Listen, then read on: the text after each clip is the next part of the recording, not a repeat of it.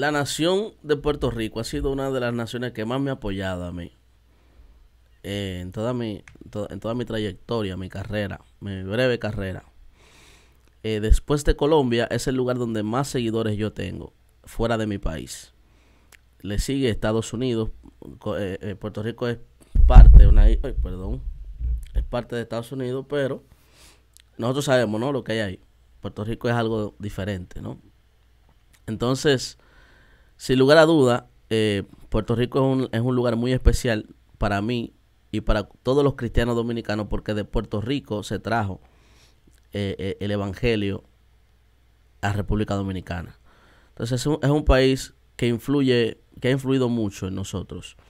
Lamentablemente, Puerto Rico tiene un factor que no es tan, así lo veo yo, no, no es tan positivo, que es que aunque el Evangelio es una influencia fuerte allá, hay un legalismo pesado en la cultura boricua. Eh, hay un legalismo pesado incluso. El legalismo que nosotros tenemos aquí lo heredamos de allá. Eh, y es fuerte. Y eso hace que muchas personas talentosas se cohiban de muchas cosas. Eh, mira, por ejemplo, el caso de Keropio, un youtuber de allá, puertorriqueño, muy talentoso, un trabajo con mucha calidad, muy bueno, el tipo genial. Hace un tremendo trabajo, pero tal vez no, no ha tenido el apoyo de su pueblo, no ha tenido el apoyo del pueblo boricua así fuerte. Eh, por eso, porque hay muchas personas que pueden ver lo que él está haciendo como algo del diablo, algo ridículo. Y es a causa de ese legalismo que hay en esa isla. Esta isla ha producido grandes hombres de Dios que tienen así esos discursos así marcantes esos discursos fuertes, esos discursos, esas predicaciones arranca cabeza. Yo recuerdo cuando yo tenía 18 años que comencé, eh, mi mamá de Navidad me regaló una, una mini laptop. Era, eso estaba de moda en ese tiempo, las laptops pequeñitas esas. Una Acer, una mini laptop Acer. Y lo primero que hice fue descargar prédica. En ese momento de Rafael Ramírez y buscar videos de Juan Carlos Harrigan, eh, de de Miguel Grullón, esa lengua rara que hablaba Grullón, era una... ¡Y la macanda, la matan! Una, una lengua que nadie nunca la había escuchado hablaba Grullón en ese tiempo. Ya no, ya Grullón es pop y ya Grullón tiene una lengua más, más seductora, más, más bacana. Pero en esos tiempos Grullón te decía, ¡Y la macanda, la mayenda, la Una lengua durísima, ¿o no le gustaba? Venía, te profetizaba el don de ciencia y todo eso. Y eso a nosotros los jóvenes, pues, no, nos excitaba muchísimo, nos emocionaba muchísimo. Y entre ellos conocí a un profeta que tenía un don de ciencia así parecido, llamado José Fon, el cual lastimosamente escuché que en estos días se divorció y hubo un escándalo porque la ex esposa dice que él sostenía relaciones adúlteras con la que hoy es su esposa mientras estaba casado con ella. Y todo un escándalo, señores, todo un show. Yo pensé que cuando me tocara hacer este video de él, porque yo sabía que en algún momento el varón se iba a ver en un escándalo de esta dimensión, y más adelante le voy a decir por qué. Yo pensé que yo iba a ser implacable, yo iba a venir modo cuando vine Miguel Sánchez, que vine a darle a destruirle la madre, a darle la madre, ¿me entiendes? Pero gracias a Dios, Dios me ha ayudado a entender muchas cosas, a ampliar mucho mi conciencia. Y la verdad es que que lo que le está pasando le puede pasar a cualquiera y nosotros no somos mejor que nadie. Aunque yo no estoy de acuerdo con lo que él hizo, yo no soy mejor que él. Yo también cometo mis errores, eh, tengo mi, mi, mis batallas personales. O sea, nadie es mejor que nadie, por eso no, no somos dignos nosotros, no tenemos la, la capacidad de condenar a nadie. Pero yo quería quemar feo, yo. ¿Por qué? Porque hace, hace como un año y medio a mí me envían un video de este señor acabando con lo que hacen chistes en las redes sociales. Pero acabándonos en toda dimensión. Él habló de forma genérica, pero en sus comentarios, al él decir cierta característica de que esa gente que se pone en peluca y cosas, uno entendió para quién era que él estaba haciendo el video. Que no era para mí, era para Juan de Montreal, mi hermanito Juan de Montreal. Que yo lo conozco, yo sé quién es Juan de Montreal. Un tipo tranquilo, un tipo humilde, un tipo sencillo, anda con su hija, con su esposa para arriba y para abajo, un hombre de familia. Bien, sin batalla, Juan de Montreal. ¿Me entiendes? Y este hombre acabó con Juan de Le dijo de todo ahí, señores. De todo, que eso del infierno, que el día, ese mensaje así, y misericordia. Y yo quiero, ya ustedes saben lo que pasó más o menos. Hay 1500 videos en YouTube explicando lo que pasó con José Fon. Ahora yo quiero que usted reflexione lo importante, porque más allá del chisme y del asunto, ¿me entiende? Que la gente dice de que Feli, tú eres un chimoso, tú nada más haces contenido de chisme. Bueno, el tema es que el, el, el 90% de mi audiencia son cristianos. Y si esta plataforma está creciendo y está teniendo éxito, es porque entonces aparentemente a ustedes les gusta el chisme. No, no, no me venga a mí, y esa doble moral, no me venga a mí con, con eso, con ese, con esa vuelta. No, no, no, no, no, no estoy, no estoy en, en, ese, en esa doble moral. Déjese de eso. Hay contenido que se venden, ¿verdad? Como con, de cierta forma medio, eh, medio morbosa, pero, pero el contenido en sí no es morboso, ni es chimoso. Así que déjese de eso. Entonces, este, este señor, mi hermano, acabó así con Juan de Montreal. De todo, ese mensaje así. Ah, yo dije, Dios mío, cuando, cuando le llegue su momento, cuando le llegue su momento, cuando ponga un huevo, le voy a dar la madre. Y hoy en día entendí que no, que no es necesario hacer eso, que no necesito hacer eso y que, que no. O sea, ya él, él va a pagar las consecuencias de sus pecados de sus errores, de, lo que sea. lastimosamente, por encima de estas malas decisiones y del fracaso que tuvo su matrimonio, lo escuché justificándose de muchísimas cosas, pero whatever. Yo no me quiero enfocar en eso. Yo me quiero enfocar en qué podemos nosotros como generación más joven aprender de esto. Señores, es como parece algo es algo extraño y misterioso, pero no falla. O sea, no falla. En algún lugar de la Biblia tiene que haber un versículo que hable de eso, porque no falla. O sea, todo aquel que presume una vida de extrema santidad, extrema consagración, algo más allá de lo humano y de lo normal, termina con unos escándalos tremendos. Es como si a mayor a mayor mensaje condenador y mensaje de, supuesta santidad y de consagración y de mandar para el diablo al otro, mayor es el escándalo que tienen. Es increíble cómo la vida nos va a probar en todas las cosas que salen de nuestra boca. Con todo el respeto lo digo, cuando el ministro Guillermo Maldonado hablaba sobre el matrimonio, el matrimonio debe ser sin mancilla, condenaba a esa gente que, que hacían, que tenían sexo oral en el matrimonio, eso es pecado, el matrimonio tiene que ser así, asá, asá, asá. Viene y le pasa lo que le pasa, el escándalo. Tágata.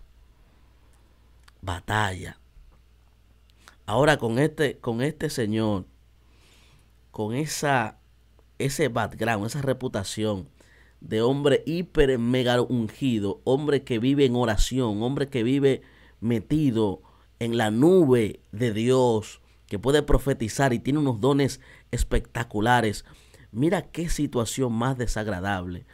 ¿Cómo es posible que tú puedes liderar una generación, pastorear una generación, eh, traer, tener unos dones tremendos, conocer el estado emocional y, cómo está el matrimonio de otras personas a través del don de ciencia? Pero tú no puedes reparar el tuyo. Es fuerte eso, brother. Eso es fuerte. Entonces es como que ese discurso, esa simulación, porque nadie es así, señores. Todos los hombres sangran. Todos los hombres sangran. Todos los hombres tienen un aguijón que los lleva a Dios. Por eso yo no, yo, hermano, yo no oro todos los días por la unción, porque ya yo, ya yo estoy ungido. Yo oro todos los días para sentirme dependiente de Dios. Para mantenerme bajo la dependencia del Eterno. Pero yo no oro de que, yo no estoy orando a cada rato de que, de que para sentirme que yo, de que, para subir los niveles de unción. Yo estoy orando para sentirme más dependiente de Dios, porque al final el que hace las cosas a través de mí es Él. Entonces, ¿qué nosotros vemos, señor, en esta generación?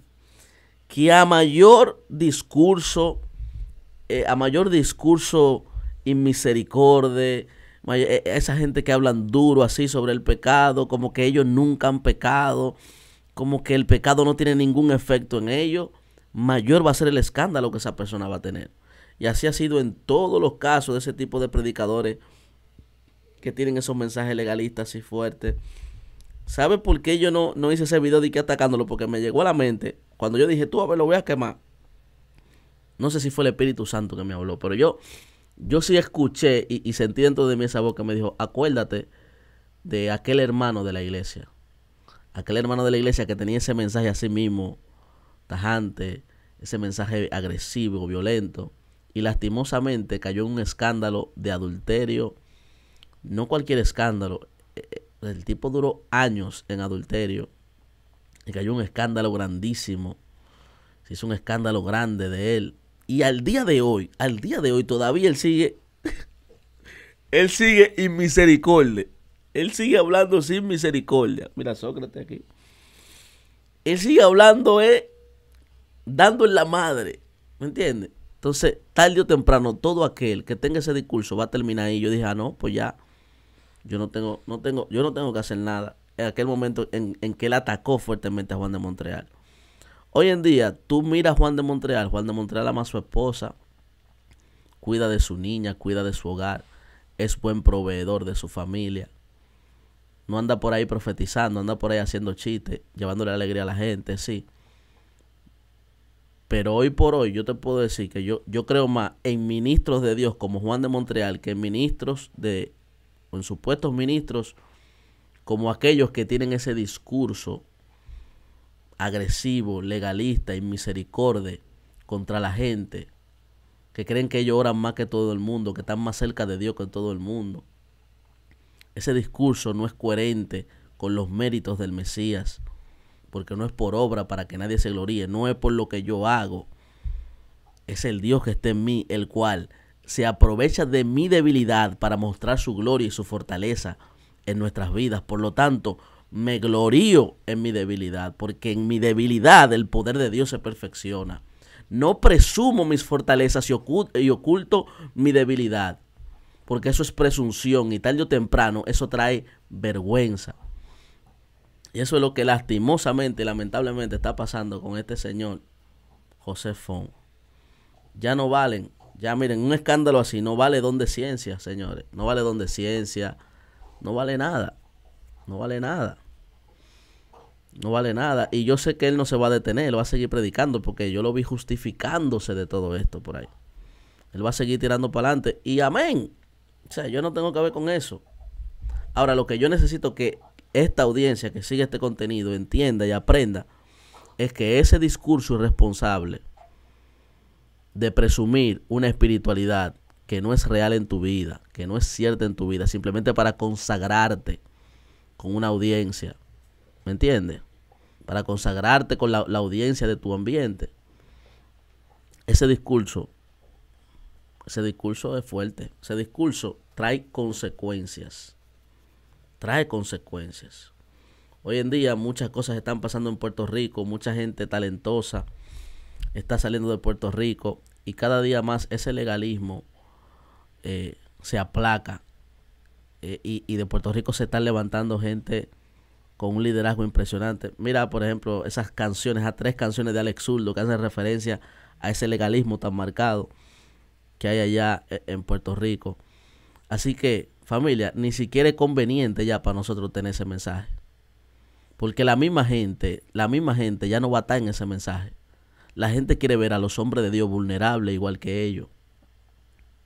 Sí, es cierto, la gente necesita héroes, pero necesita identificarse con tu situación. Yo quiero seguir a alguien que pudo vencer los problemas que yo tengo que vencer para que me pueda guiar. Yo no quiero eh, eh, seguir a alguien que me presuma su unción, su santidad y su, y, su, y su consagración como algo que yo mismo no puedo alcanzar. No necesito a alguien así en mi vida.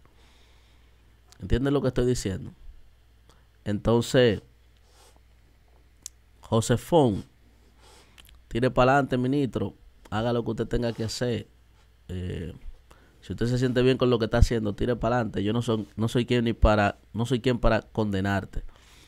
Ahora, haciendo un justo juicio, haciendo un justo juicio, yo creo que tú deberías evaluar y pedir disculpas por todas esas predicaciones, esos estudios, esas enseñanzas que tú diste, destruyendo el oficio de otro, menospreciando la labor de otro, diciendo que cosas eran del diablo simplemente porque tú no estabas de acuerdo con ella. Tú deberías pedirle perdón a la gente, hermano. De verdad que sí. De verdad que sí, te lo digo. Suscríbase a este canal, manténgase activo a todo este contenido. Bendiciones.